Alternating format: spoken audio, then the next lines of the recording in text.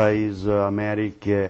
Drugo, jedan podatak koji je ovaj, koji iznio Dimitrija Tucović, to je veoma važan podatak kojeg, kojeg više niko u Srbiji ne spominje. Ja moram da ga spomenem jer on u svojim dijelima govori šta se to radilo na, na teritoriji gdje su živeli Albanci i Turci. Na teritoriji, uh, postoji jedan podatak da je 950 naj, najviđenijih ljudi. Znači, uh, viđen čovjek je kod nas bio ranije po, uh, pismen čovjek i tako dalje bogat normalno i sve to.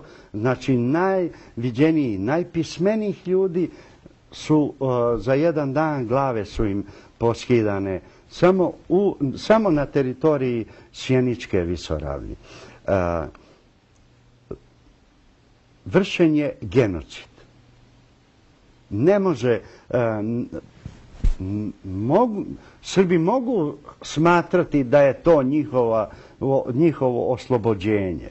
Ali se ja pitam, ako oni poslije njihovog prolaska, njihove vojske, pola, pola stanovništva nestane sa te teritorije. Pa šta su oni oslobodili? Ako im teritorije ostanu prazne.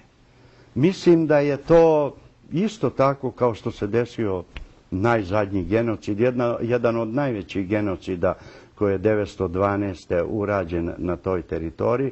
Mi smo, mi smo imali malo spasa posle dolaska Austro-Ugara od 14. do 19. jer mogu vam, ja posledem jedan podatak koji kaže da su od 14. godine do 19. do 19. na teritoriji Sanđaka ubijena samo dva čoveka.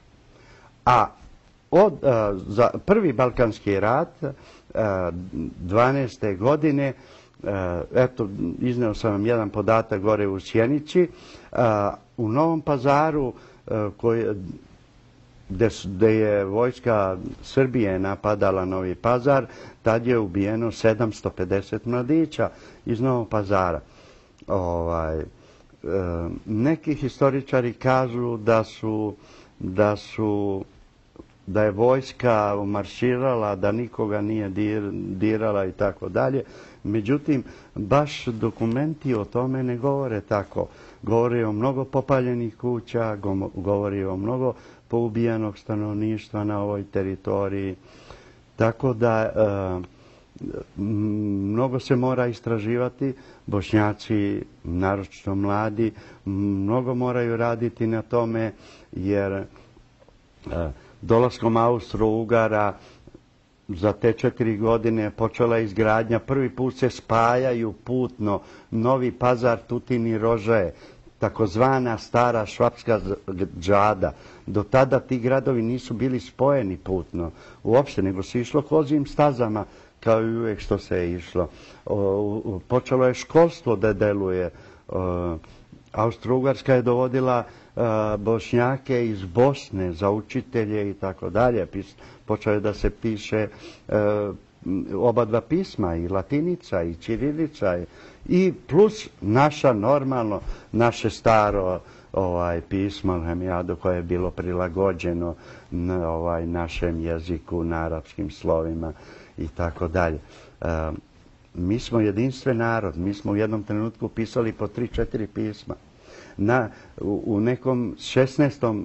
17. stoljeću a, historija beleži 70% ženske populacije je bilo pismeno.